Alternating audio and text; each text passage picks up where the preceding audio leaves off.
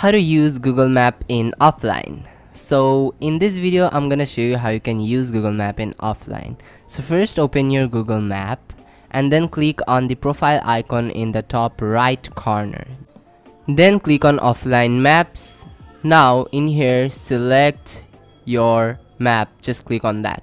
So in here you have to select the map that you want to be, see in offline even if you are offline.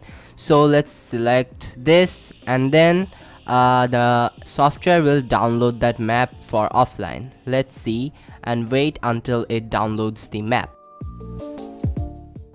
Okay now my map is successfully downloaded. Let's turn off my Wi-Fi. Now let's just remove like the Google map from the taskbar.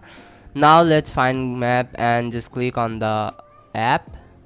Now click on the profile icon. Let's see we have downloaded the map or not. Okay let's turn off my data. Okay as you can see it's just downloaded our map here.